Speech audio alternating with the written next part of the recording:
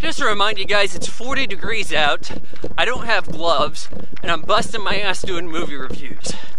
Continuing with the James Bond saga, I'm going to start at the beginning, work my way forward now.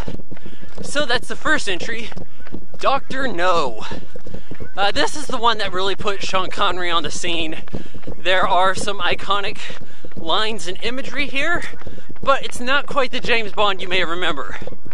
So, uh, yeah, Bond is introduced in this casino, and it's like Bond, James Bond. You see this clip in a lot of places. But he meets up with this gal, Sylvia Trench.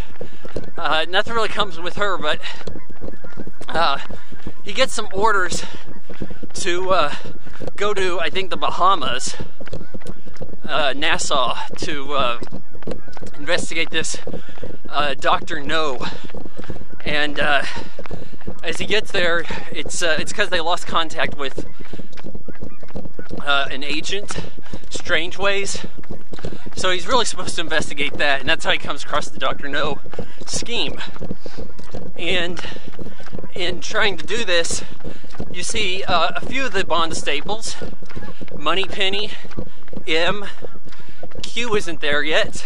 Bond really acquires no gadgets. He gets a Sunbeam Tiger delivered to him via like Hertz rental car essentially, and it doesn't have any gadgets. Uh, but he's supposed to meet up with Felix Leiter, so first movie for that character is FBI pal, and this is like the first time they're meeting, and uh, Bond uh, essentially teams up with his contacts on the island. There's this guy who he was like a tough guy at first. He's willing to fight Bond. Then he hears he's one of the good guys, he becomes like scaredy cat uh, stereotype in a way. Like, Massa, no. There's dragons on that island. I'm scared. And uh, yeah, they head to the island.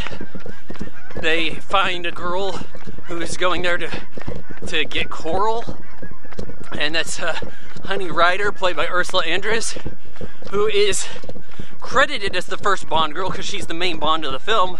I'm sorry, the main girl of the film. Not helpful, even though she's carrying a knife. But if you think about it, Sylvia Trench has the first appearance. Anyhow, um, yeah, I'm, I'm, trying to jog here. It's 40 degrees. It's a little rough, on the throat here. Bond sits down, talks to Dr. No, who I think is uh, a lot of inspiration for Doctor Evil. Doctor Evil's kind of Blofeld and Doctor No, but he's he's like mixed race, has some issues, has uh, what a metal hand or something. Not a whole lot's really brought to that, but he has he has a reactor. Bond fights with him a bit, shuts it down. Um, you know, before all this kind of started up, there there was a kind of funny scene where there's a tarantula. Uh, Doctor No has these hitmen who need to knock out Bond. One of them leaves a tarantula in Bond's bed, and it just kind of crawls up this glass that's between Sean Connery and the tarantula, like no spiders.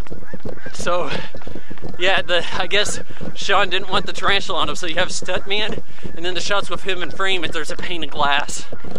Yeah, it, and there's also a miniature that's not to the scale that you would like. But you know, this is just starting out for Bond. Just kind of setting the foot, treading new water. Uh, Bond gets away with Honey Ryder. They get picked up at sea by Felix. And then in their making out session, Bond lets go of the rope that's towing them back. Just like, screw it. I'm hoping he's thinking they'll turn around soon you know, after a few minutes of this. But I, I kind of enjoy it. Yeah, and I think in large part because Sean Connery is just awesome. Uh, he is what James Bond is all about here. Looks good, kicks some ass, gets some ass.